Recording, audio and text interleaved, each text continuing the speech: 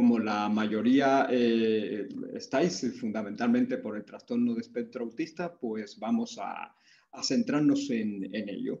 Pero para ello, mm, quizás lo primero mm, tenemos que, tener muy en cuenta es que el trastorno de espectro autista tiene una gran heterogeneidad, una gran heterogeneidad en todos los sentidos, ya no solo en las manifestaciones, que de hecho sois eh, testigos, sino también en las causas, en los orígenes.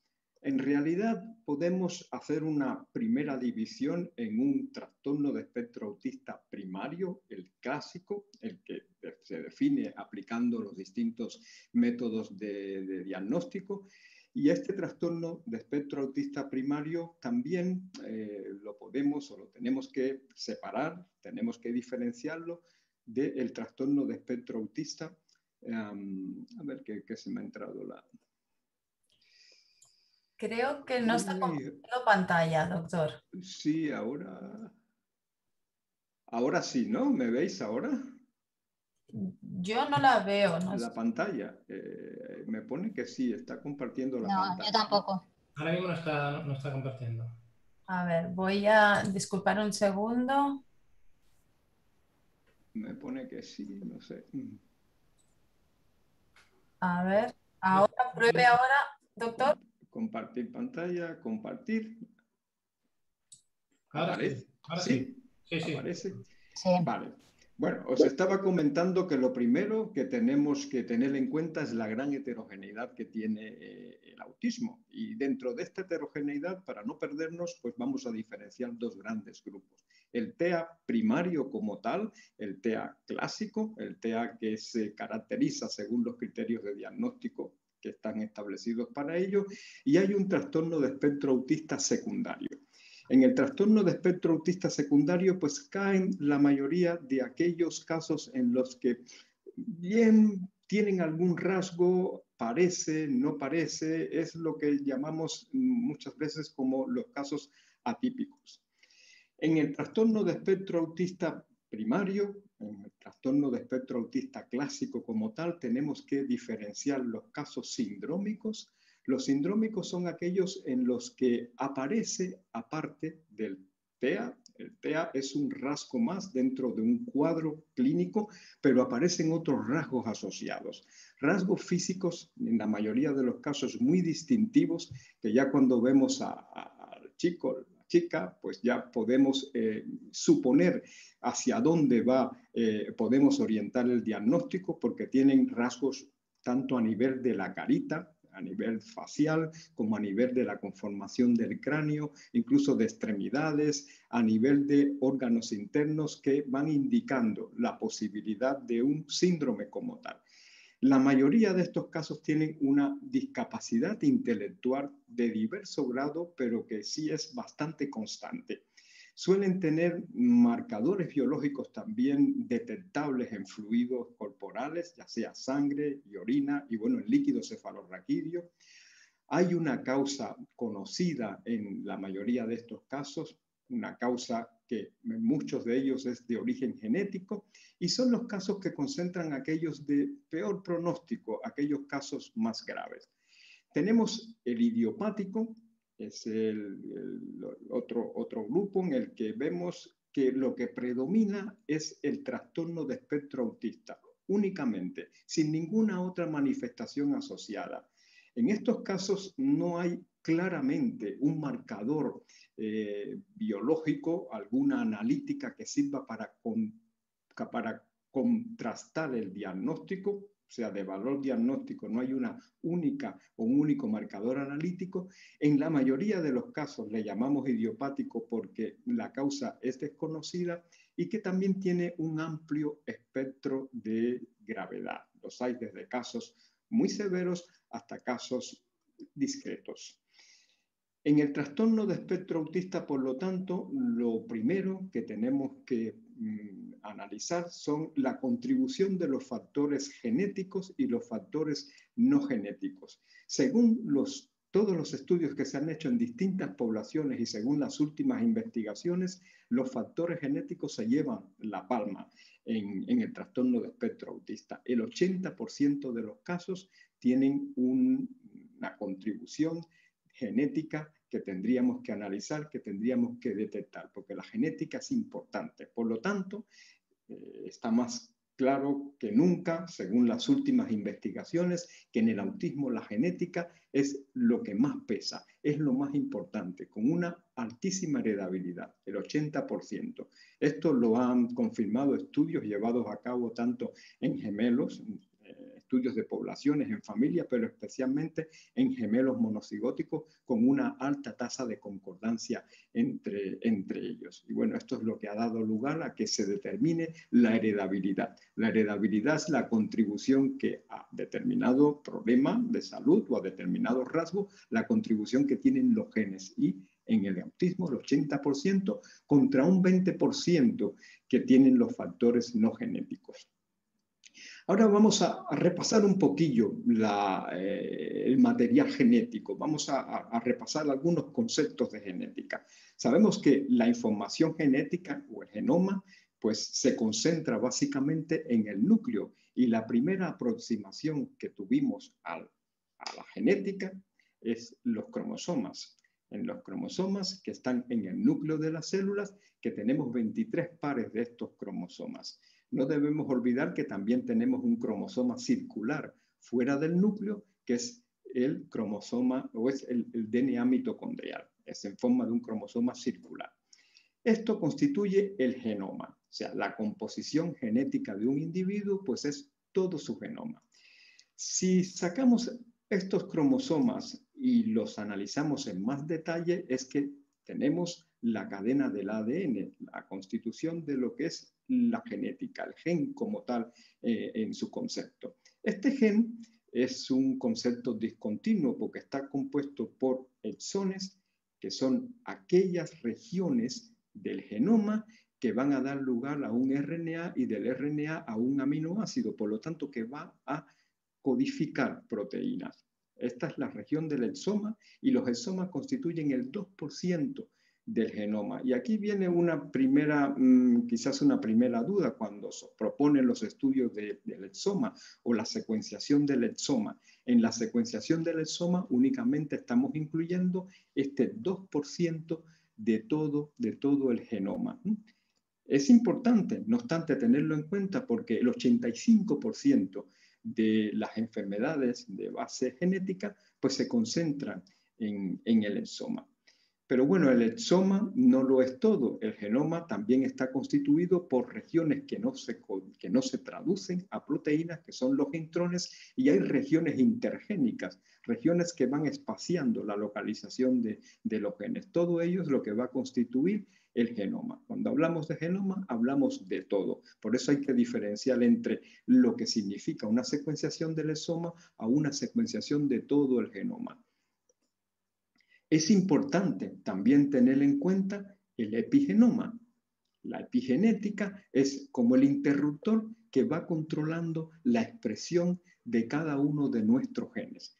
Se ha determinado después del proyecto Genoma Humano que más o menos tenemos unos 26.000 genes eh, que constituyen nuestro, nuestro genoma. Estos genes no se expresan de la misma manera a lo largo del desarrollo humano. Hay algunos que se están expresando en todo el proceso de eh, desarrollo embriológico, fetal, y hay otros que se van expresando a lo largo de nuestra vida, que van marcando lo que se llama o lo que se conoce como el reloj embriológico. También estos genes van a tener una expresividad muy variable en la vida postnatal y estos, los mecanismos que lo controlan, pues son mecanismos epigenéticos. Aquí os sonará mucho el tema de la metilación, pero también hay otros como la acetilación de las histonas o los microRNA que están abriendo una gran puerta terapéutica para lograr controlar la expresión de estos genes, pero controlarlos a, nuestra, eh, a nuestro antojo para poder actuar en el control de la expresión de muchos de estos genes con fines terapéuticos. ¿Existe una única prueba para diagnosticar el TEA? Que puede ser otra pregunta. Pues no, no hay una única prueba porque ningún defecto genético como tal, de forma aislada, pues va a dar lugar o puede explicar todas las manifestaciones del trastorno de espectro autista. Y esto precisamente se debe a su gran heterogeneidad causal.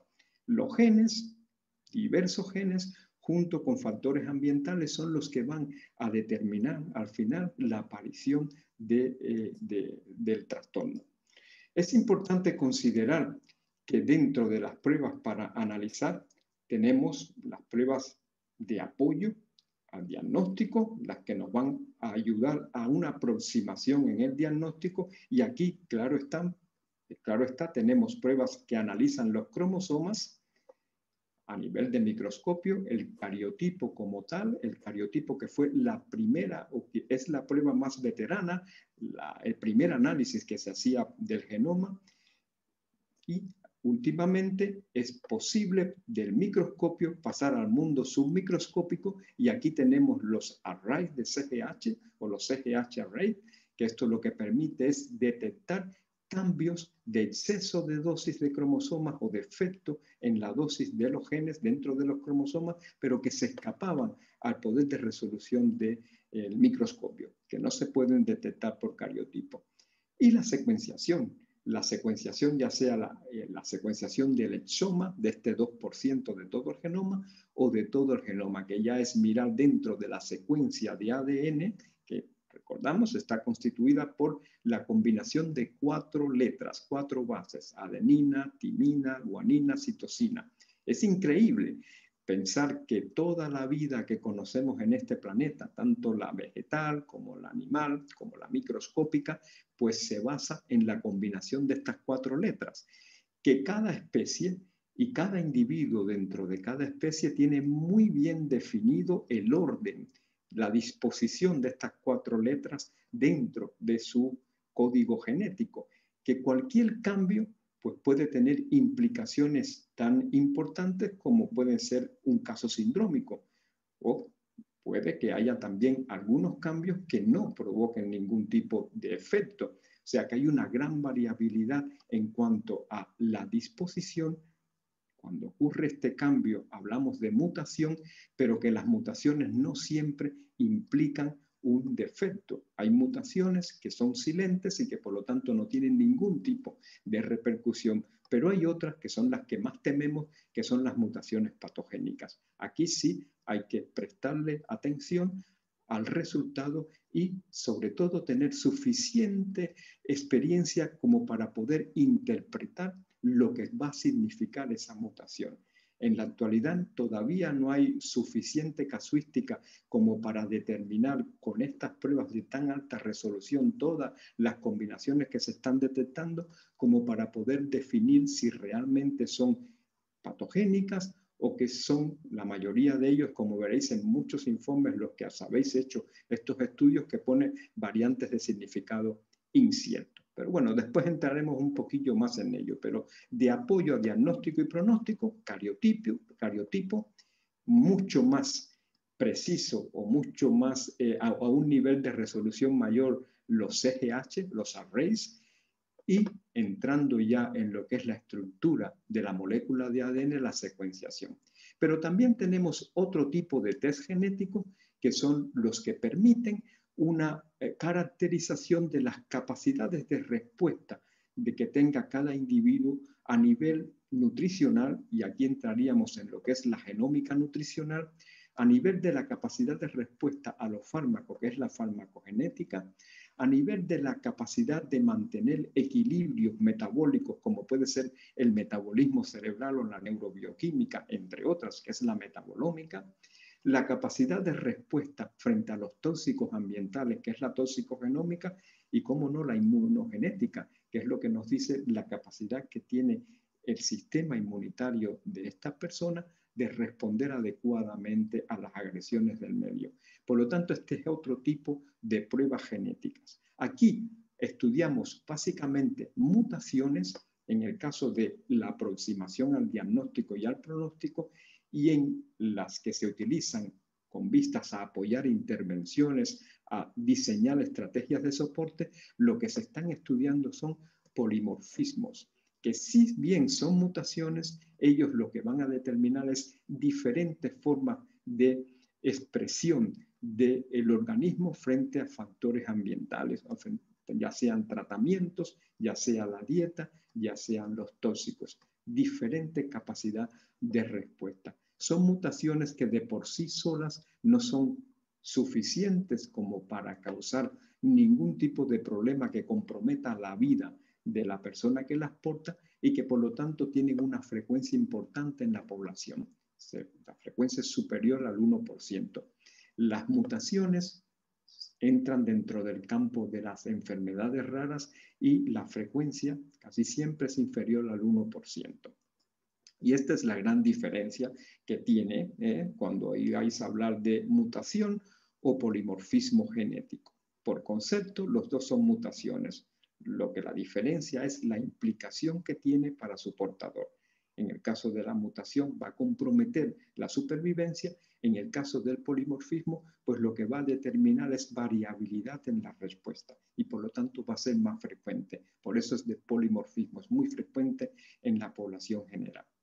La utilidad que tiene cada uno de ellos. El cariotipo, pues la utilidad mm, básicamente es la de determinar dentro de los casos sindrómicos aquellos que se deben a alteraciones en los cromosomas. Aquí un ejemplo clásico es el síndrome de Down, la trisomía del 21. Hay tres cromosomas 21 en lugar de los dos que debemos tener. Pero hay otros eh, síndromes que tienen defectos a nivel cromosómico, como puede ser la trisomía del 18, la trisomía del 13. En todos estos casos, pues la forma de analizarlo que tenemos ya desde los años 60 es haciendo el estudio de todos los cromosomas y contando estos cromosomas, analizando tanto la cantidad como la morfología de estos cromosomas. Y esto es lo que se llama cariotipo. De los cariotipos, pues eh, a partir de, la, de los finales, del final de la década de los 90, principio del 2000, pues se desarrolló una técnica que permitía detectar lo que se escapaba al microscopio. Y aquí llegamos a los microarrays cromosómicos.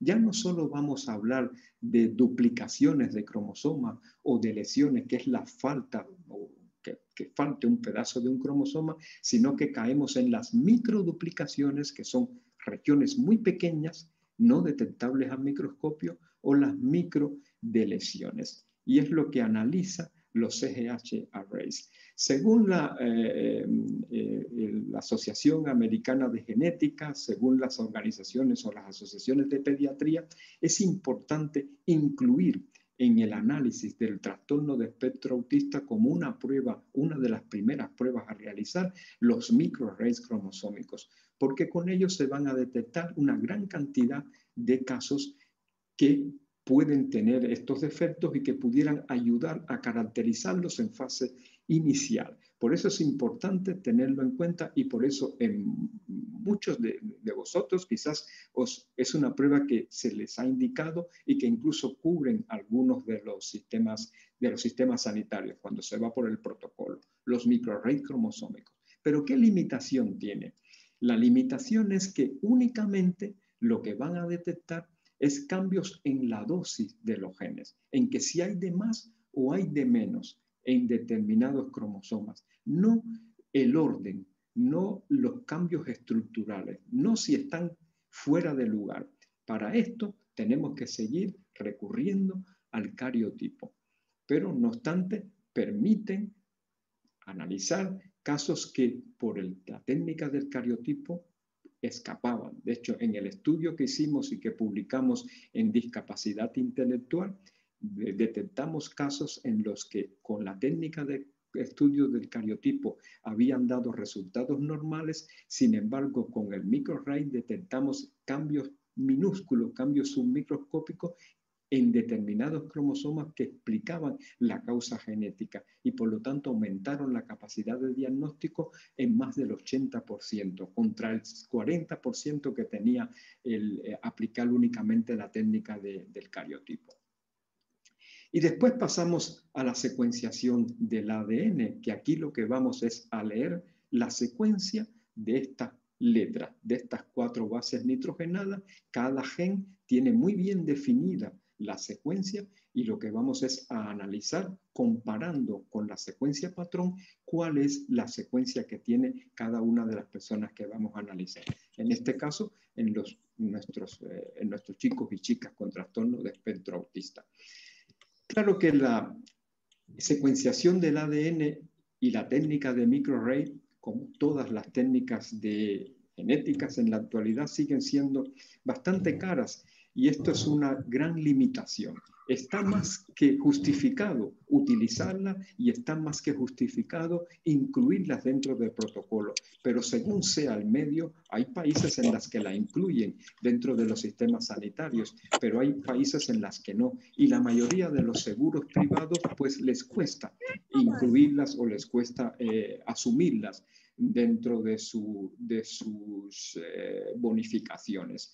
No obstante, las cosas están cambiando, si os digo, se está haciendo presión desde las asociaciones científicas para que estas pruebas cada vez sean más, eh, estén más presentes dentro del protocolo de inicio, incluso de los casos cuando se llega al diagnóstico, al diagnóstico clínico, porque nos van a ayudar a disminuir mucho de sufrimiento y mucho de las complicaciones que puedan tener los que las portan, porque lo que sí en la actualidad está muy bien definido es cada una de las mutaciones responsables de estos síndromes, las manifestaciones que va a tener a lo largo de su vida, en cuáles debemos esperar eh, las complicaciones y en qué momento de la vida estas complicaciones pueden aparecer. Y esto lo que nos va es a ayudar a mejorar el pronóstico y sobre todo a mejorar la calidad de vida de las personas que la aportan.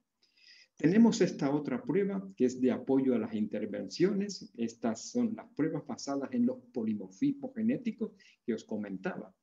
Con esta prueba, que no es una prueba independiente y para nada excluyente de las anteriores, lo que hacemos es que independientemente de que sea un caso sindrómico o no, vamos a determinar el potencial de respuesta que tienen nuestros chicos y chicas tanto a las intervenciones dietéticas, si determinado elemento de la alimentación, en este caso, va a, ser, va a tener el efecto que se promueve que pueda tener, ya sea un omega o ya sea una vitamina o ya sea algún tipo de eh, antioxidante, si este antioxidante o esta vitamina o este omega va a resultar beneficioso y en qué casos incluso puede resultar perjudicial. De la misma manera, los fármacos. Si podemos utilizar tranquilamente un ibuprofeno, un paracetamol, si la dosis que le está indicada según la edad y su composición corporal es la dosis a la cual vamos a tener el resultado esperado y sobre todo la seguridad que no va a haber ningún evento o efecto adverso. O sea, la prescripción a la medida, lo que se llama ya la medicina a la carta la metabolómica, cómo podemos ayudar a restaurar el equilibrio a nivel de todos los sistemas, pero especialmente a nivel de la química cerebral, el equilibrio de los neurotransmisores. También la toxicogenómica que nos dice si esta persona es más o menos vulnerable a determinados tóxicos, analizando todos los sistemas de detoxificación que tenemos en el hígado, que están divididos en fase 1, fase 2 y que tienen que tener un equilibrio muy estrecho, porque a veces el uso de determinados antioxidantes en determinada persona, según cómo tenga la composición a este nivel, hasta puede ser de efecto totalmente contrario, puede ser mucho más prooxidante que antioxidante. Y la inmunogenética, la capacidad de respuesta, la tendencia proinflamatoria que pueda tener un individuo y sobre todo en función de cada una de las dianas que se analizan, si esta inflamación va a ser a predominio de intestino o a predominio de sistema respiratorio o a predominio de sistema nervioso o global. Y sobre todo, de qué manera podemos actuar para contenerla o para llevarla a una expresión normal. Esto es lo que ha dado lugar, o lo que englobamos dentro de nuestro protocolo.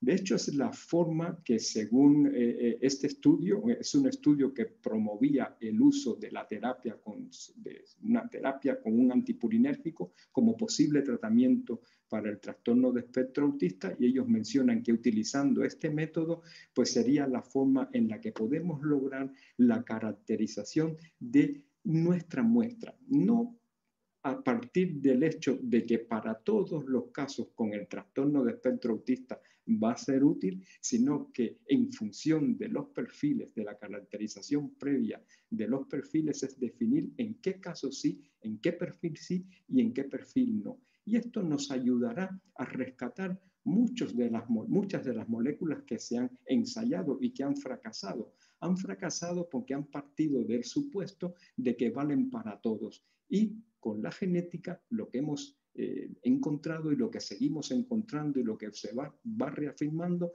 es que no hay dos casos dentro del trastorno que sean idénticos, que sean iguales, sino que hay toda una gama de variación, toda una gama de subtipos que son los que ahora ya se reconocen como endofenotipos del trastorno de espectro autista. Y es por esto que tenemos que tener muy en cuenta la utilización de estas pruebas, porque al final es la que nos está demostrando que tenemos que considerar esta individualidad desde el momento en que nos enfrentamos al diagnóstico, para llegar al diagnóstico primero, pero después, una vez llegado al diagnóstico, para definir cuál es la mejor conducta a seguir en cada uno de nuestros casos.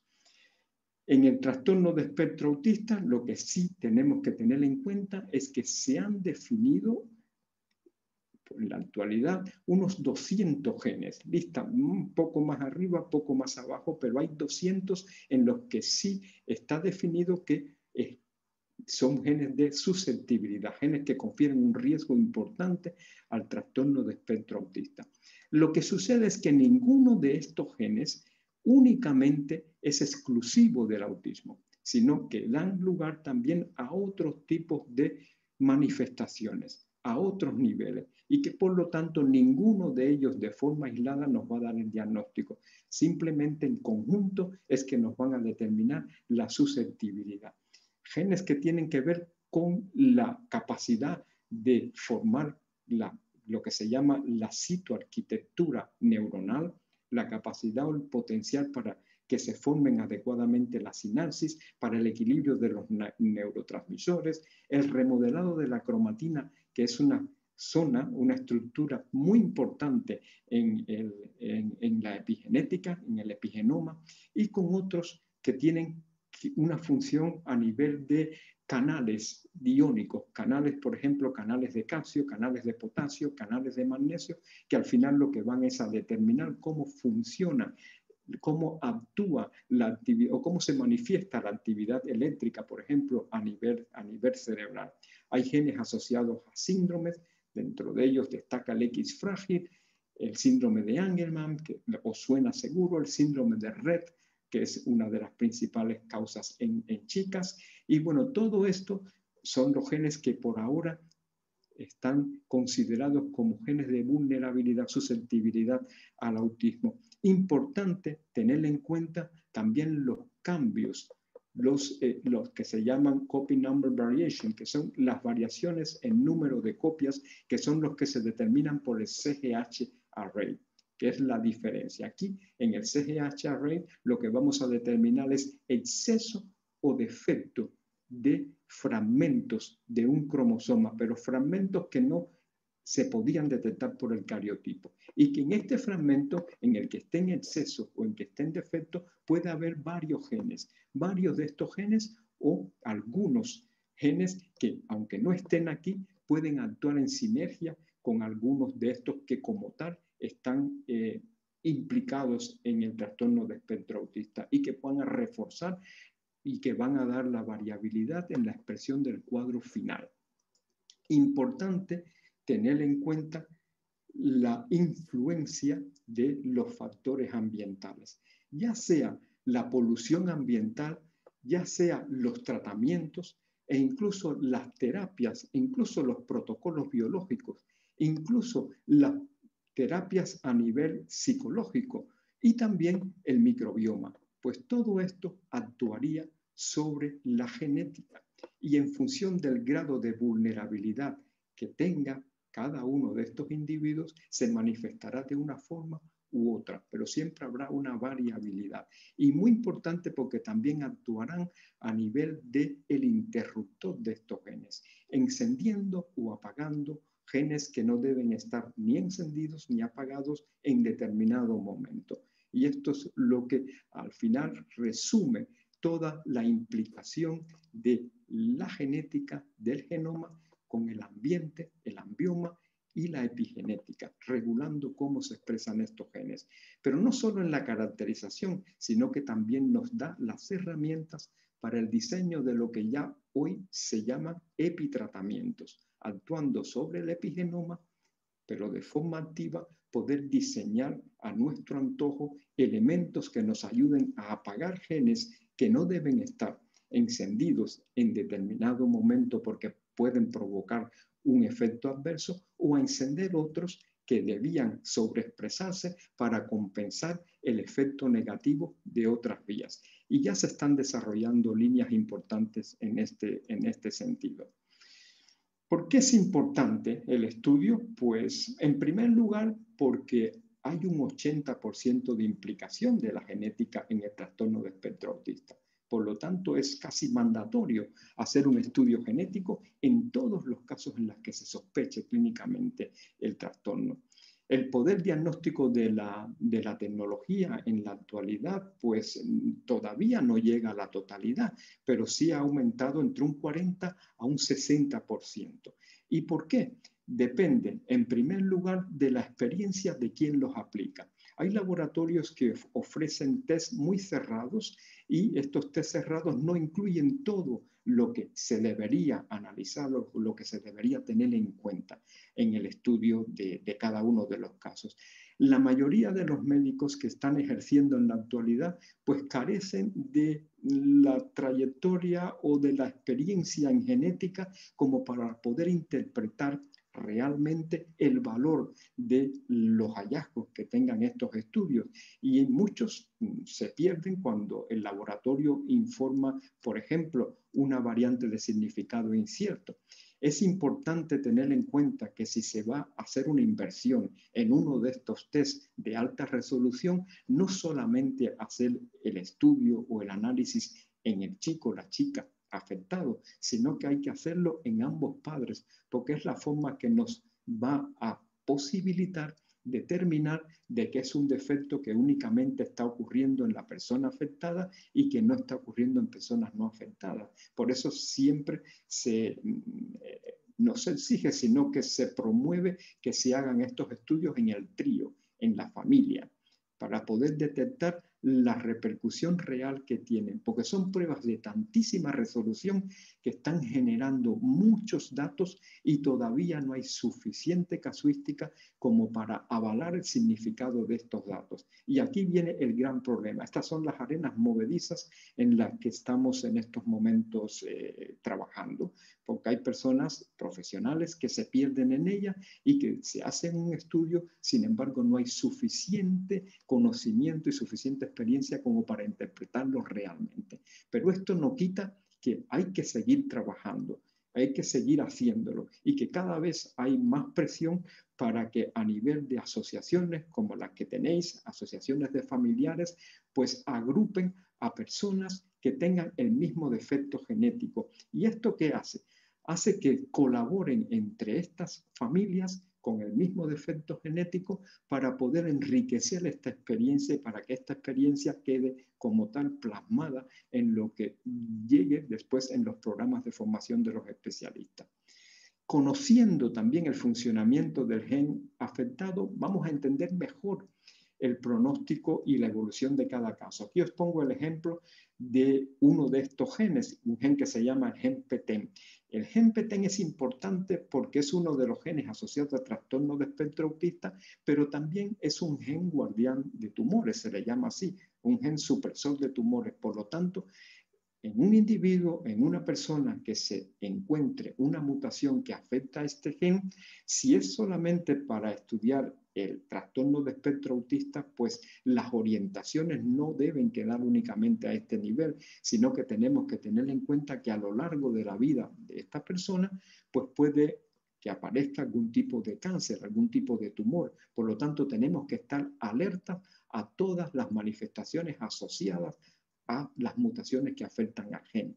Y en este caso serían tumores de tiroides, melanoma, tumores de riñón, del colon, y en el caso de que sean chicas, tanto para ellas como para sus familiares, incluso riesgo a tumores de mama y de endometrio.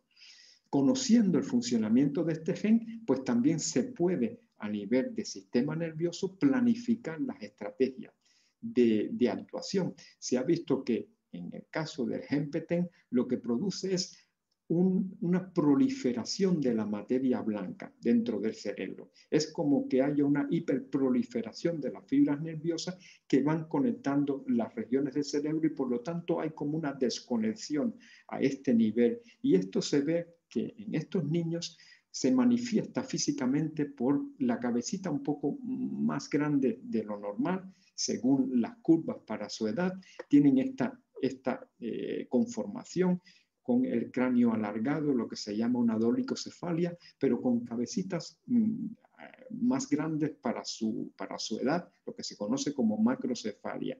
Esta macrocefalia lo que refleja es que realmente hay una hiperproliferación de la materia blanca y además se ha visto que en las manifestaciones hay una dificultad importante en estos nenes para la memoria de trabajo. Ellos tienden a procesar la información con mayor lentitud.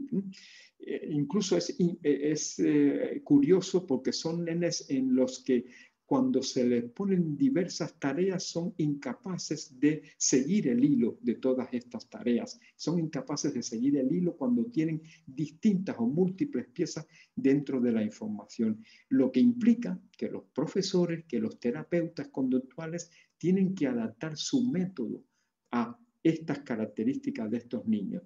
Es importante con ellos hablar muy despacio para adaptarse a este retraso que tienen en captar la información, darles tiempo, darles siempre instrucciones breves, sencillas y no eh, jamás forzarles con demasiada información, sino estructurarla de forma secuencial, adaptándose a este momento.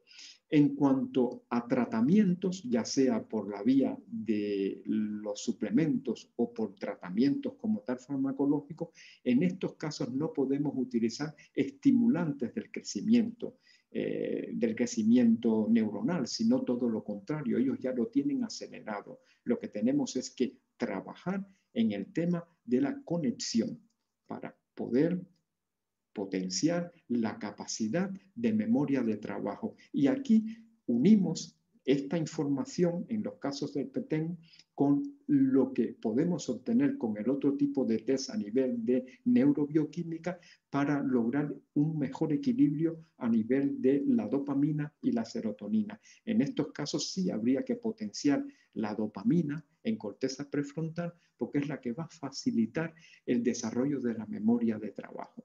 Y así vemos cómo la caracterización del gen, del cambio que afecta a determinado gen, conociendo cómo este gen actúa en un organismo, podemos definir tanto el pronóstico, cosas que tenemos que tener en cuenta en la evolución de estos niños, pero también podemos adaptar todo tipo de estrategias de soporte y de tratamiento, incluyendo las de soporte y trabajo conductual. Otros ejemplos de otros genes clásicos eh, en, el autismo. El CHD8 también produce macrocefalia, además de trastornos de espectro autista, pero es uno de los genes juntos con el gen MET que más se asocia a complicaciones digestivas. Sin embargo, tenemos otro gen, este, el DIRKIN, que se asocia a microcefalia, todo lo contrario. En este caso, macrocefalia, en el caso de DIRC1A, microcefalia y sin complicaciones digestivas. En estos casos es muy raro encontrar complicaciones digestivas y en los casos en los que se ha encontrado Esto nos lo explica la inmunogenética. Cuando analizamos a nivel de la inmunogenética, detectamos en algunos de los casos que parecía raro, porque en la historia de este gen no estaría incluida las complicaciones digestivas, pero si tienen déficit en la producción de la interleuquina 10, en estos casos sí aparecería la tendencia a la inflamación intestinal. Este otro, el GRIN 2B, asociado al TEA, pero en el electroencefalograma predominan las ondas lentas y se ha visto que en estos casos responden muy bien a una suplementación con este aminoácido, la L-serina. Incluso hay estudios clínicos que han demostrado una mejoría evidente en todas las esferas que se miden dentro del trastorno de espectro autista. En este otro gen, pues aparece un patrón electroencefalográfico de focos de epilepsia como tal, y también lo que se ha visto es que responden muy bien a los tratamientos sustitutivos con los aminoácidos ramificados, porque lo que produce la mutación en este gen es una degradación muy rápida de estos aminoácidos ramificados. Por lo tanto, responden muy bien a este tratamiento. He tenido casos de niños con epilepsia que detectado que tienen este defecto, únicamente se le ha puesto una suplementación con aminoácidos ramificados y enseguida han resuelto ya no solo la sintomatología TEA, sino también la epilepsia. Por lo tanto, vemos que hay diferentes genes, cada uno de ellos con diferentes implicaciones que nos demuestran que no hay ningún chico idéntico al otro. Tenemos que agrupar dentro de los casos que tenemos de trastornos de espectro autista a los niños en función de su genoma para de acuerdo a esta agrupación, de acuerdo a estos subtipos o endofenotipos, que se le llama ya endofenotipos clínicos, pues diseñar tratamiento y estrategias de soporte para cada uno de ellos, no una receta universal, porque está más que demostrado que no va a haberla. Ya podemos decir con seguridad, no va a haber una receta universal, porque hay una gran heterogeneidad debemos es ir a caracterizarla, a dividirla, a buscar los patrones en cada uno de estos grupos y en función de esta división poder diseñar los tratamientos y las estrategias de soporte, pero para cada uno de los grupos en cuestión, no para el grupo en, en, general. Y bueno, esto es a grandes rasgos lo que os quería comentar, sobre todo recalcar algo que quizás ya suponían, pero que como genetista quiero dejar muy, muy, muy claro. En realidad, la genética en el autismo importa e importa mucho. Importa mucho ya no solo para el niño o la niña que tenemos delante, sino para vosotros como familia, para vuestras decisiones en cuanto a descendencia, para vuestras decisiones en cuanto a cómo poder ayudar a mejorar la calidad de vida y el pronóstico de cada uno de estos chicos y chicas. Y bueno, ahora os escucharé las preguntas que tengáis con, enorme placer. Si puedo, os las responderé a todos. Muchas gracias, doctor La. Un placer. tengo que decirle que es una presentación increíble. Eh, la tendré que repasar varias veces porque hay mucha información ahí para, analizar y tomar nota y aprender aprender mucho. Voy a, antes de pasar a, Natalia, que abra fuego con las preguntas, voy a abrir fuego yo, si me permites, Natalia. ¿Vale? Antes, Sergio. Porque sí, es que ha dicho una cosa importante y es que eh, cuando ha hablado de la terapia antipurinérgica, yo ahora me estoy estudiando mucho lo que es el inflamasoma y hay un gen concreto que, que es el gen FMR1 que usted ha apuntado ahí en su diapositiva que es del X frágil. Exactamente. Y bueno, está claro que ese gen bloquea una proteína que es la FMRP. Y eh, está muy asociada es, esa proteína también con, con las células de, Purkinje. De Purkinje. De Purkinje. Exactamente, Purkinje. Y eh, me interesa mucho mm, las células de Purkinje porque mm, saben que son mm, GABAérgicas, tienen una función inhibitoria de, de la dopamina y serotonina. Y eh, me gustaría saber cómo, mm, epigenéticamente hablando, se podría modular un poco la estimulación de esas células que en los niños TEA se ha visto que están muy disminuidas.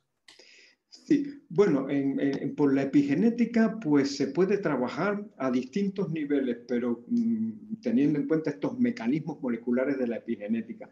Quizás uno de los que más eh, se ha estado trabajando es el de la metilación. Sabemos que la metilación, cuando un gen está metilado, está inactivado y cuando se desmetila, pues se activa nuevamente, pues tratando de desmetilar determinado lo que se llama el promotor, que es la región del gen que va a echar a andar la maquinaria de transcripción. Lo que sucede es que con la metilación tenemos que tener una precaución extrema porque es tan, tan eh, negativo estar hipometilado como hipermetilado y no hay todavía la forma o la fórmula de utilizarla de forma selectiva. Por lo tanto, dentro de los mecanismos epigenéticos, el más prometedor son los microRNA. Ahora se están haciendo caracterizaciones de microRNA para que determinan la expresión de cada uno de los genes, fundamentalmente de estos genes que actúan a nivel del sistema nervioso y especialmente en este estas células, pues se ha detectado que existen varios de estos, pero uno de los más prometedores es el microRNA 132. De hecho, muy prometedor incluso para la, eh, la, enfermedad de Alzheimer. Hay un trabajo recién publicado en lo que han demostrado en modelos animales cómo se ha podido revertir, que ya son palabras mayores, la neurodegeneración en el caso de la enfermedad de Alzheimer utilizando estos microRNA. Y esta será la vía para trabajar en, eh, este tema.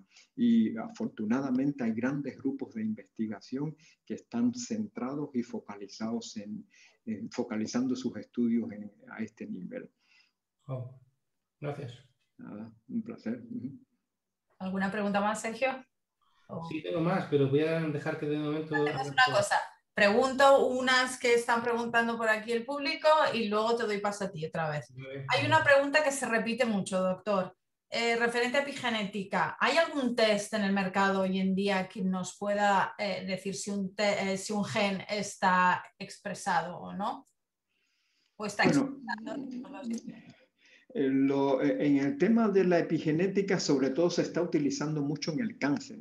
Eh, eh, en los estudios que se hacen en los tumores, pues se analiza mucho el patrón de metilación. Y hay una técnica que es tratando el DNA con bisulfito, esto hace una transformación y después se cuantifica.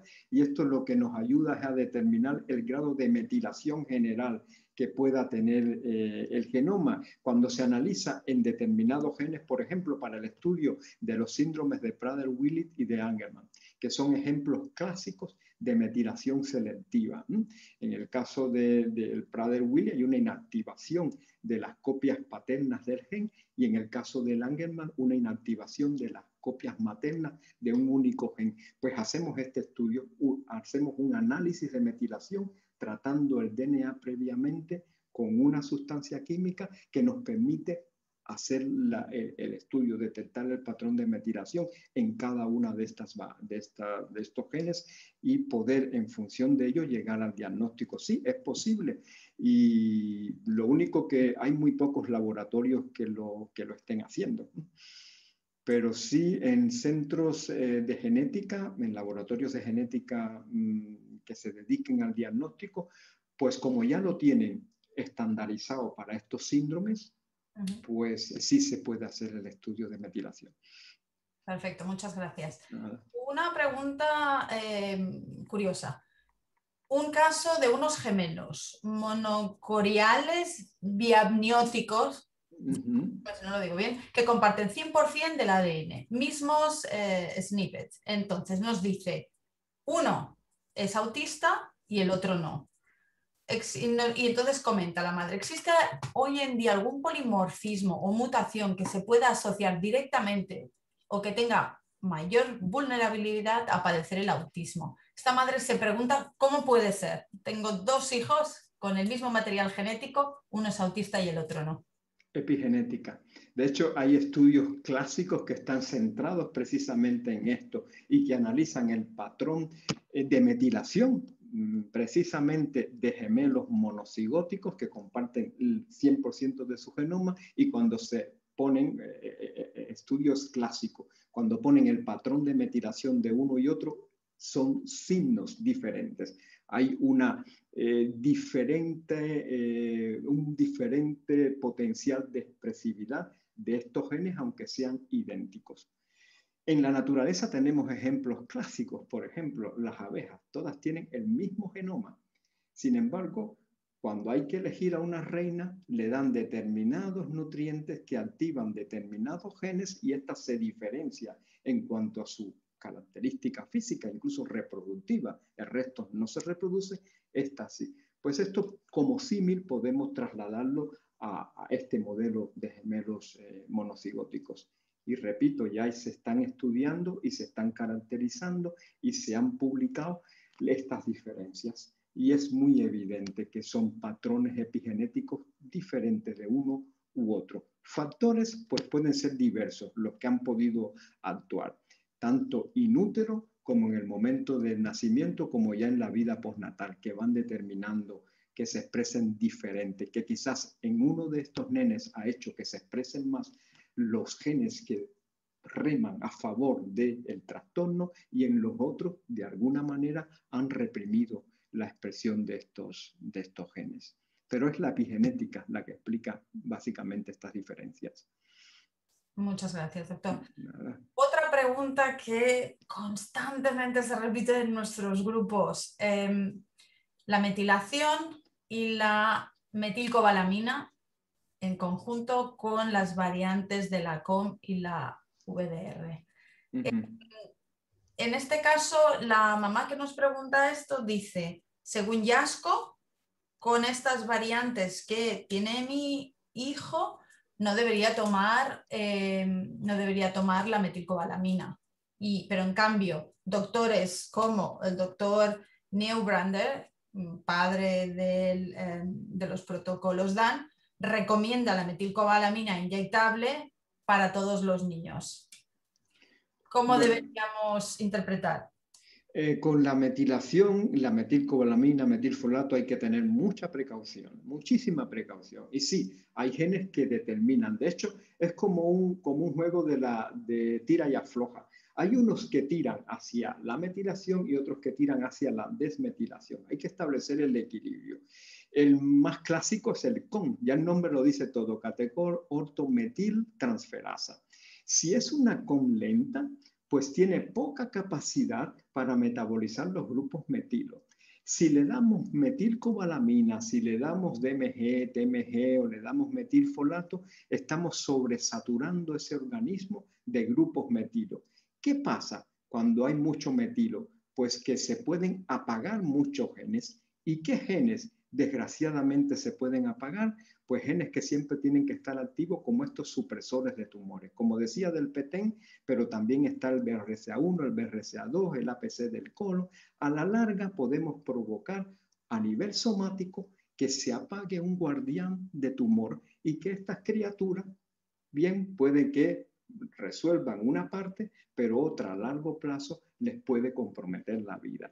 Por lo tanto, es muy importante, y yo aquí sí digo que hay que hacer caso a, la, eh, a estos polimorfismos genéticos. Si tiene una conlenta, y si tiene a nivel, en este caso creo que el otro que le han analizado es el receptor de la, de la, vitamina D. Se ve cuando el receptor de la vitamina D está bien, está muy activo, pues no, en estos casos no se debe utilizar. Si tiene la conlenta y las variantes normales del receptor de la vitamina D, pues no. En este caso sería mejor utilizar la hidroxicobalamina. También hay que tenerlo en cuenta otros polimorfismos, porque la vía es muy compleja y no todo se reduce al MTHFR, al MTTR, a la COM. Ya digo, hay una tirolina y esta hay que tenerla muy en cuenta, pero no arriesgarnos, no arriesgarnos. Lo que sí no comparto es que a todos haya que ponerle la metilcobalamina. Esto, a mi entender, perdonadme, los que no estén de acuerdo, es una barbaridad. Estamos jugando con la salud una persona a largo plazo. Es pan para hoy, hambre para mañana. Perfecto. Otra, otra mamá nos pregunta, ¿hay algún gen que esté... ya que estamos hablando de la vitamina D, tengo una pregunta sobre la vitamina D. Eh, eh, vamos a ver, eh, según un protocolo que se llama el protocolo Coimbra, no sé si usted lo, conoce, del profesor. No, no, Bueno, yo que tengo el libro ahí, me lo he leído y llega a decir, cosa que me llama mucho la atención, que saturando con altas dosis de vitamina D el cuerpo de los niños, se logra forzar la recepción del VDR. Decía más o menos el libro que saturando los con una dosis alta de vitamina D, el gen al final cedía en la recepción de la vitamina D. ¿Eso es cierto? ¿Qué Bueno, eh, con la vitamina D, yo, yo también lo utilizo. En los niños que veo que tienen defectuoso el receptor de la vitamina D, pues lo que tratamos es de que tengan un rango entre 40 y 60, que esté en este rango, pero nunca, nunca sobresaturarlo, porque corremos el riesgo de las manifestaciones de calcificaciones arteriales, calcificación a nivel renal, o sea, corremos el riesgo de calcificaciones. Mm.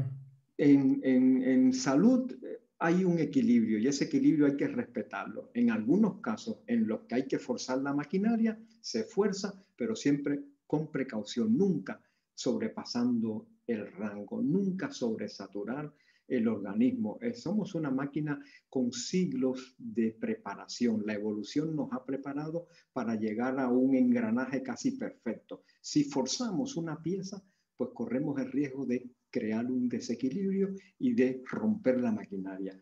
Caemos en el caos y después sí empieza todas estas complicaciones que a veces, como dicen, es peor el remedio que la enfermedad. Mm. ¿Algo más de la vitamina D? No.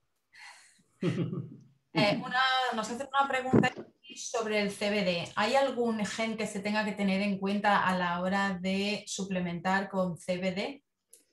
Por ahora, por lo menos que sepan, no, no hay ningún polimorfismo genético que esté implicado en el tema. Eh, de todas formas, el CBD eh, eh, todavía está en estudio. Hay ensayos clínicos que sí han probado un nivel de eficacia importantísimo, por ejemplo, en las epilepsias refractarias al tratamiento. Incluso aquí en España, en la revista de neurología, salió publicado el mes pasado antes pasado un estudio que lo confirma.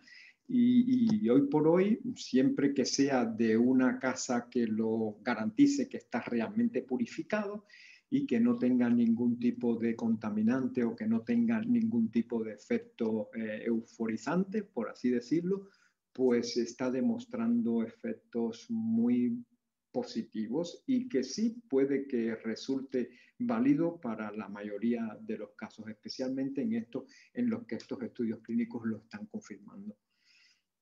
Muy bien. Tenemos otra pregunta. Em, cuando revisamos los SMPs de, no sé cómo se dice en castellano, los eh, SNPs. SNPs. Dependiendo del estudio, se puede obtener información que es sobrecogedora y simplemente demasiado para digerir. ¿Cómo recomienda usted evaluar estos SNPs?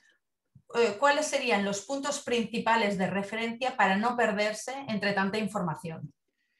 Ah, bueno, em, como siempre, eh, antes de elegir cualquier tipo de prueba, ah, hay que tener muy en cuenta la evaluación del caso, la evaluación clínica. Yo creo que como, como quise poner en la exposición, no hay una receta válida para todos. Hay algunos que sí valen para la mayoría, que son los que dicen cómo vamos a responder a los tóxicos. Yo creo que esto sí hay que incluirlo porque es muy importante, esto es lo que nos va a dar seguridad a la hora de qué antioxidante vamos a utilizar. Por ejemplo, la quercetina, los extractos de té verde que tan buenos son y que tan de moda están, hay personas en los que no lo podemos utilizar, especialmente estos que tienen una con intermedia o lenta porque son inhibidores de la, de la CON.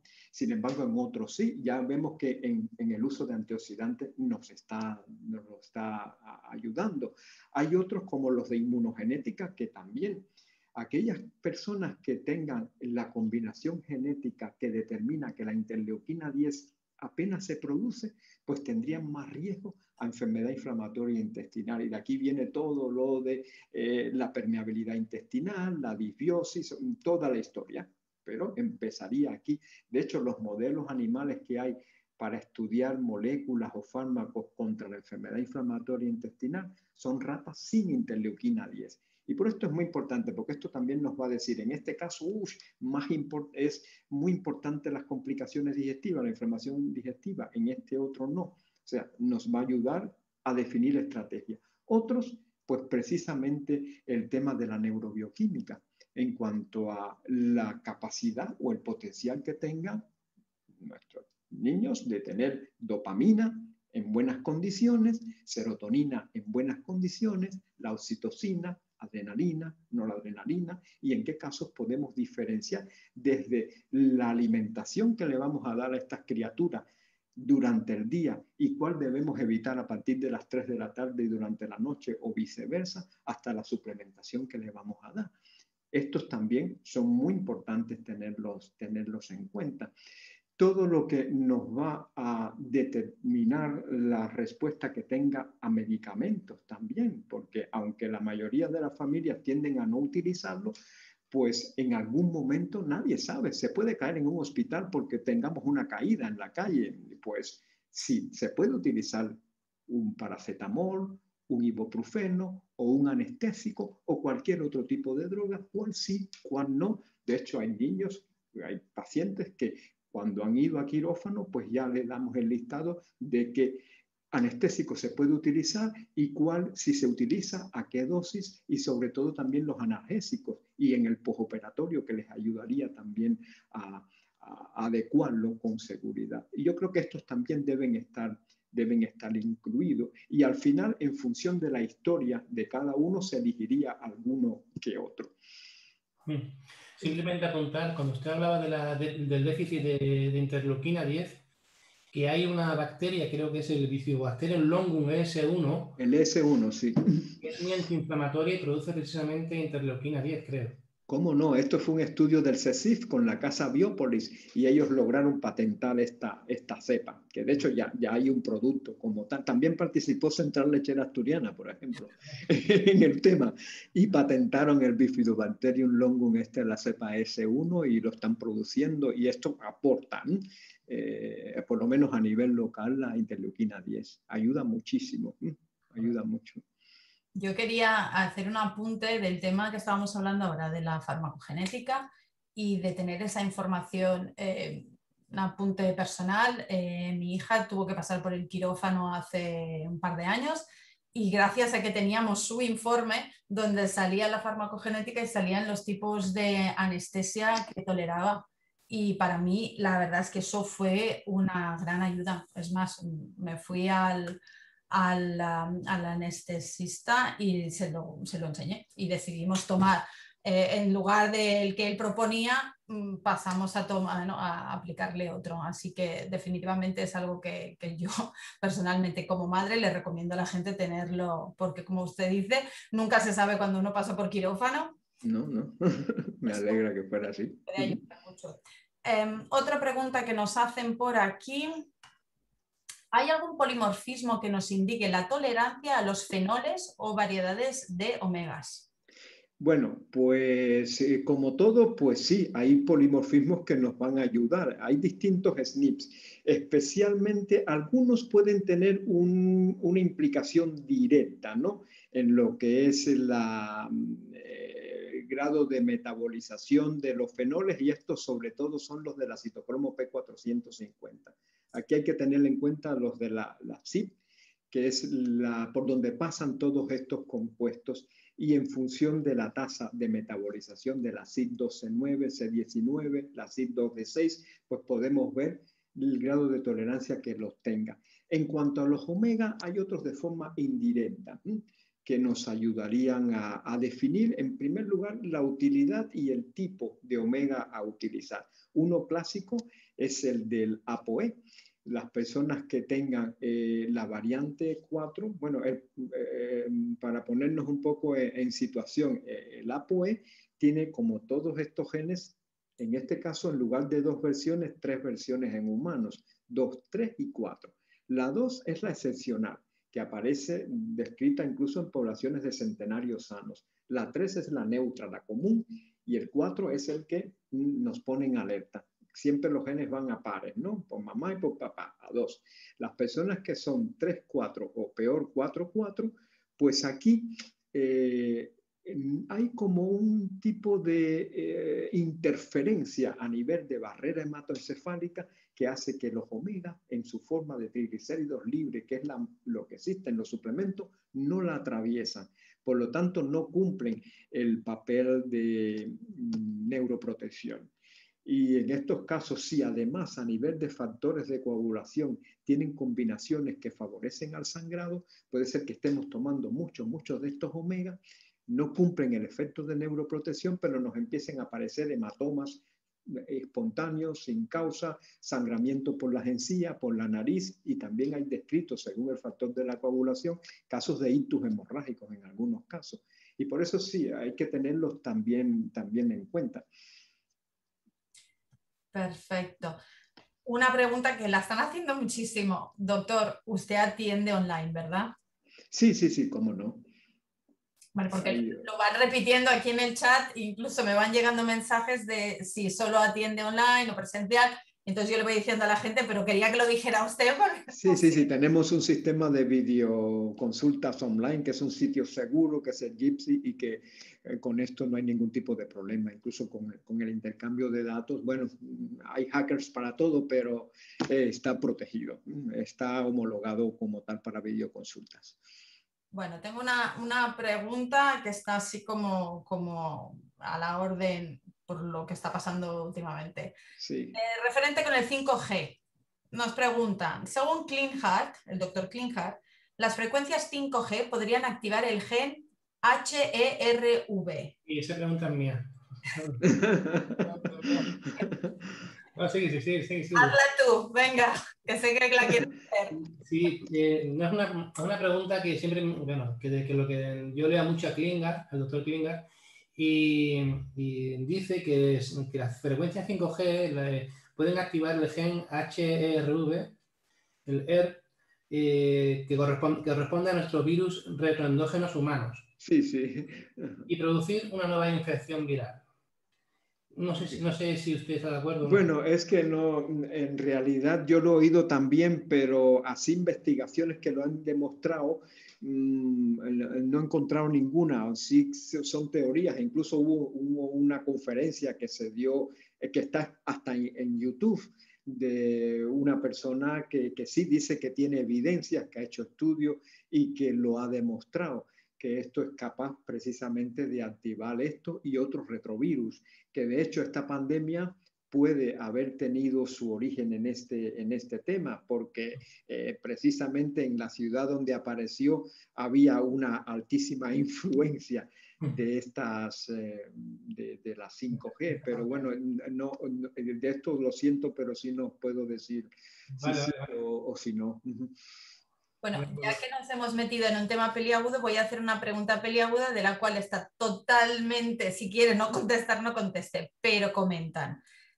Podría, teniendo en cuenta ahora el tema de la vacunación del COVID y que muchas familias están un poco reacias a vacunar a los niños, como sabemos. Entonces, ¿hay algún estudio genético en el cual eh, las familias se puedan basar para eh, no vacunar a los niños en base a esa predisposición que tengan esos niños para no metilar o para... Mm, ¿Usted cree que sería... Em, bueno, sí, nosotros tenemos un perfil que de hecho cada vez vienen más familias con sus bebés recién nacidos a hacerlo, porque sí hemos detectado, y, esto sí lo puedo decir con total tranquilidad, porque he ido hasta el ministerio con esto, que hay eh, una combinación de tres vías que cuando coexisten en una persona, esta persona tiene un poquito más de riesgo si se le aplica la vacuna fuera de edad, fuera de momento. Esto es lo que nos explica que no todos los niños maduran de la misma manera. No quiere decir que no se vacunen,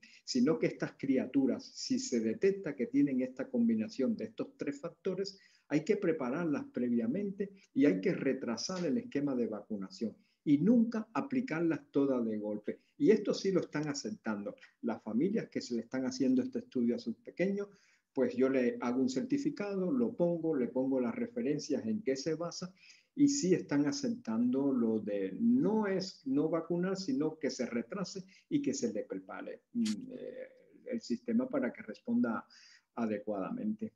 Pero estaríamos hablando del carnet vacunal, o sea, de las vacunas que reciben. Pero en el caso del COVID, en el, caso del COVID entraría también, al final eh, es una inmunoterapia igualmente y vale para cualquier inmunoterapia. Hay personas en las que no, que tienen esta vulnerabilidad, por así decirlo, a tener una respuesta anómala o aberrante de su sistema inmunitario. Primero, lo que tenemos que hacer es comprobar que tiene la capacidad para responder como el resto de las personas. Y esto es lo que también nos enseña la genética. En la mayoría de los casos no te limita permanentemente. Conociendo tus vulnerabilidades puedes calzarlas, puedes llegar a compensarlas para funcionar después a nivel de una persona que no la tenga y en este momento entonces sí la puedes, la puedes tener. De hecho, me están llegando casos de personas que desgraciadamente la mayoría entran dentro de los síndromes de sensibilidad eh, eh, central, tanto de fibromialgia como de fatiga crónica, que están muy preocupados con el tema de la vacunación. Y en estos casos, cuando tienen este perfil, pues sí eh, es uno de los criterios que les pueden, eh, les pueden ellos respetar el derecho a no vacunarse si existe esta, esta justificación o este perfil que, lo, que, que demuestre que son vulnerables a recibir la, la, inmunoterapia, en este caso la, vacuna. esto, en este caso, estaríamos hablando de gente que lo ha presentado en España o también lo ha hecho para otros países. No, por ahora aquí en España. por ahora es aquí en, España. Bueno, tengo otros casos, de, unos de Italia que también se lo, se lo, han hecho y hay una familia en Francia que también se, se, lo, se lo, ha hecho, ha presentado. allí le han puesto más eh, pero por así decirlo, pero al final no se han arriesgado porque claro, al, final eh, si hay un, mm, un estudio que tenga una base científica que diga que una persona es vulnerable a determinado procedimiento terapéutico o no, si un médico pasa de esta información y procede, existe el delito de acusarle de homicidio por omisión, cause o no cause la muerte. Le pueden eh, acusar. Y entonces esta familia recurrió en este, en este sentido. Siempre hay estos recursos legales. Y claro, yo lo que no puedo es afirmar que sí le va a hacer daño, pero sí puedo decir, es una persona que tiene una alta probabilidad de no responder adecuadamente. Y esto es eh, a criterio ya después de, cada autoridad o de cada médico responsable a, aceptarlo o no aceptarlo, pero a criterio con a lo que se expone en el caso de que realmente pase algo. Una pregunta, Natalia. Dino, Sergio. Em, vamos a ver, hemos dicho que el TEA es, es, es multifactorial y, eh, no, es solamente la combinación, la, expresión de un gen, sino el conjunto de varios genes mutados, lo que dan una expresión de, de TEA o autismo. También vemos esto, eh, curiosamente, cuando hacemos eh, los experimentos, en los estudios que hay sobre el trasplante fecal, cuando una persona recibe el trasplante fecal de otra, se modulan ciertos genes dentro de ella que cambian la fisonomía y cambian la expresión de ciertos genes de la persona que recibe el trasplante fecal. Hemos visto el, claro ejemplo de la persona que es delgada y si recibe una, microbiota eh, de una persona obesa, inmediatamente su morfología cambia y empieza a ser obesa también. Lo hemos visto en ratones y en, seres humanos. Eh, ¿Hasta qué punto podría el trasplante fecal modificar la genética de una persona hasta tal punto de digamos, de revertir ciertos síntomas? Pues sí, esto ya, eso sí está documentado. Hay, hay varios estudios que han documentado que realmente eh, tiene un, actúa a nivel de la expresión de los genes, a nivel epigenético. De hecho, e, e incluso en enfermedades neurodegenerativas hay estudios muy bien hechos, muy bien diseñados, que lo, han, que lo han demostrado. En esto no hay ningún tipo de duda.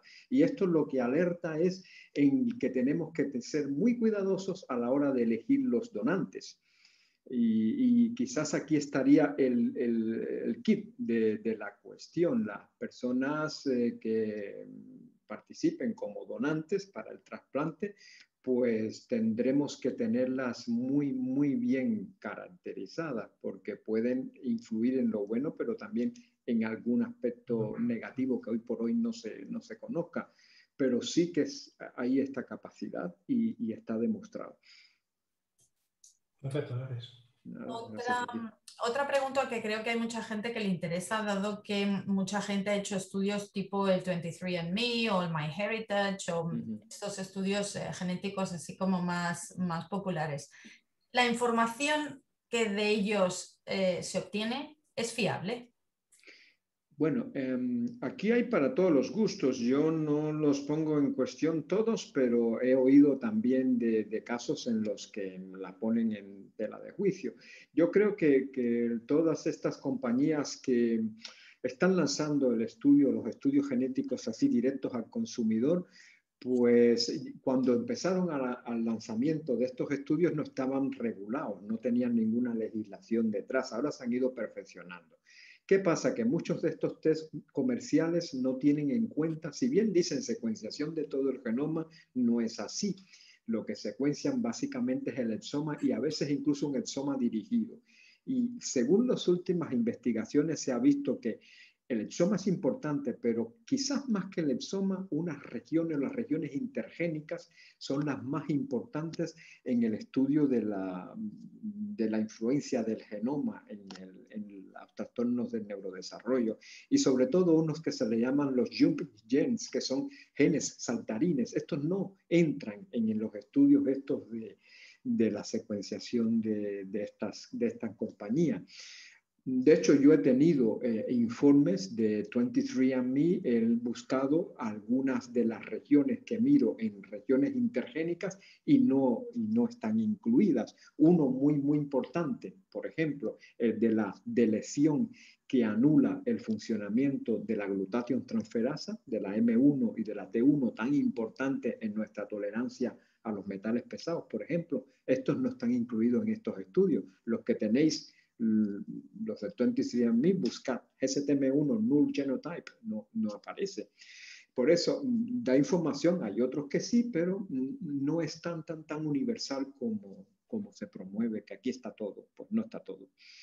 Pero lo que está sí se pueden fiar, o sea, aquellas personas que tienen la información tal vez más reducida, pero esa información sí es fiable. Yo no, yo no lo pongo en tela de juicio, eh, a pesar de esos otros que lo han hecho estudios para comprobar, no, yo creo que no, que si ofrecen este servicio, pues ofrecen con garantías. Perfecto. Em, nos preguntan por aquí, a ver si lo he perdido, volviendo a... vaya, lo he perdido. El gen que he hablado antes de... Eh, de los, del tumor. El PETEN. Eh, nos preguntaba un papá, lo he perdido, pero lo digo de memoria, eh, preguntaba, ¿qué pasa si tenemos este, este gen? ¿Qué deberíamos hacer? Bueno, en el caso de que se detecte que hay una mutación en este gen, hay unas bases de datos que dice dentro del gen la mutación si afectaría o no afectaría aparte de las manifestaciones a nivel neurocognitivo, también las de, protección de tumor. Ya digo, la mayoría de las mutaciones sí. Lo que se debe hacer es estar atento, hacer todos los estudios de control que llevan de vigilancia de la aparición de estos tumores desde el punto de vista analítico, pero también de exploraciones de exploraciones clínicas, teniendo en cuenta las manifestaciones. Quizás el de más porcentaje de todos los tumores que está asociado es eh, el cáncer de mama, de endometrio, si es el caso de, de, chicas, también a nivel de la familia, tenerlo en cuenta y descartar los miembros de la familia que lo tengan, porque es uno de los genes, ya es, los más famosos son el BRCA1, BRCA2, pero el PETEN también de casos de, estos cánceres familiares. Otro sería control de melanoma, porque el melanoma es otro que está asociado, de colon igualmente. Estos que comentaba y tiroides, que también puede tener, pues, eh, no, perder, no perder el hilo y estar atento a los programas de detención precoz, que en estos casos serían aún más eh, importantes. Perfecto. Creo que ya tenemos que ir acabando. Ah, más que hacerle otra pregunta, le, diría que si quiere resumir, eh, si quiere dar algún último mensaje a las familias que le están escuchando. Bueno, yo creo que lo más importante es que se le pierda el miedo a la genética. La genética no condena gracias a la epigenética y la epigenética nos está abriendo el camino a controlar la expresión de los genes independientemente de la repercusión que pueda tener. Conocer lo que tenemos en nuestro genoma nos va a dar el poder para poder controlarlo y controlarlo a tiempo. Desde esto que contaba Natalia de la anestesia, he tenido otros casos que tienen defectos a nivel de la coagulación y de no haberlo tenido en cuenta, pues se quedaban también en una, en una mesa de operaciones por sangramiento. Pues mm, si debemos o no debemos eh, utilizar el medicamento según qué tipo de medicamento, porque esto nos puede o no costar la vida. Como vemos, nos ayudará a tener el control en todo momento de nuestra salud. Si podemos ir a vacunarnos tranquilo en el momento que nos corresponda, sino decir, oh, no, no, no, tú espera que yo tengo primero que analizarme tal, tal parámetro y tomarme tal y tal cosa, y después entonces voy y me vacuno. Pues es esto, en todo momento es ir a un campo con las minas, un campo minado, pero ya con las minas identificadas. Tú pasa por aquí, pero cuidado por este camino. Y esto es lo que la genética nos va a aportar.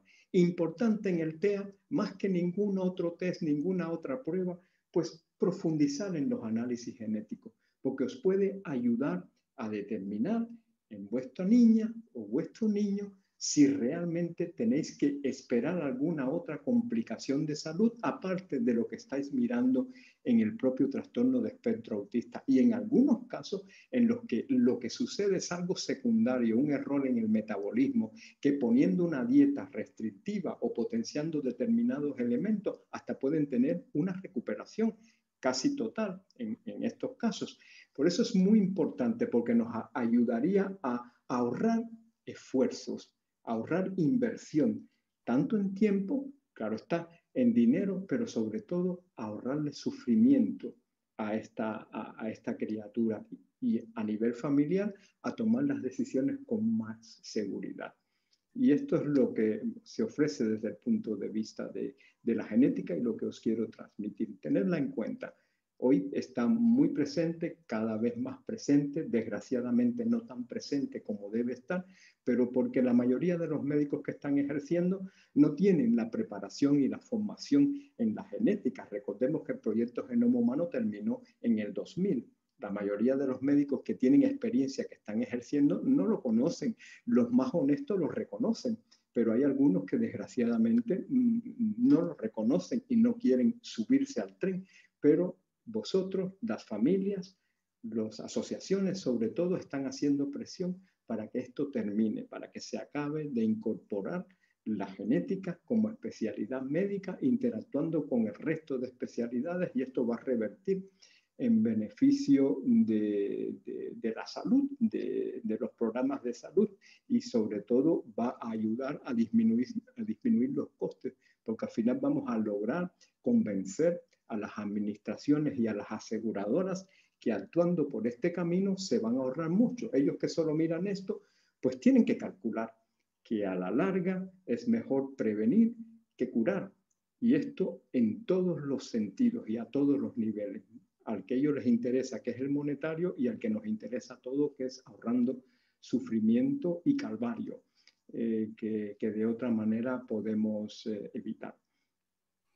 Perfecto. Lo siento que se me ha ido aquí. Muchísimas gracias, doctores. Como siempre, un placer eh, escucharlo. Hablar placer es mío. Tenerlo, entre nosotros. Muchas gracias por, por venir, por asistir eh, esta noche en España, esta tarde en Latinoamérica. Y ha sido un placer absoluto eh, escucharlo, tenerlo aquí y, bueno, y y sobre todo que nos haya compartido su tiempo, que, que, ya es hora de dormir. el placer totalmente mío. Me encanta poder hablar de estos temas que, que me apasionan en realidad y poder compartirlo con todos, ustedes. La genética que tenerlo muy en cuenta. Eh, siempre se habla de microbiota, pero la, la genética es básica y, y, conocer tu propio cuerpo es, es básico para, para implementar estrategias que van a ahorrarte mucho tiempo y, y, dinero. Seguro. Así que nada, un placer. Gracias a todos por haber venido a, este evento. Eh, Natalia, un saludo muy fuerte. Blanca y a todos los demás, eh, nuestros amigos latinoamericanos. Y nada, eh, nos vemos en el siguiente aquí en, en Nevia Health. Gracias. Y recordarle a todo el mundo, sobre todo a la gente que ha estado haciendo preguntas, que esto va a quedar grabado, va a estar en el canal de Nevia Health en YouTube. Y también deciros que todas las preguntas que nos ibais haciendo, aquellas que no hayan sido contestadas, por favor, mandarnos un email a eneviahealth.gmail.com y contestaremos a las preguntas. Aquellas que vayan dirigidas al doctor se las pasaremos y cuando tenga tiempo estoy segurísima que poquito a poco nos las irá contestando. Así que muchas gracias a todos. Como bien ha dicho Sergio, eh, nos vemos pronto. Gracias, doctor. Y gracias. Gracias, gracias un placer. Buenas noches. Hasta pronto. Adiós.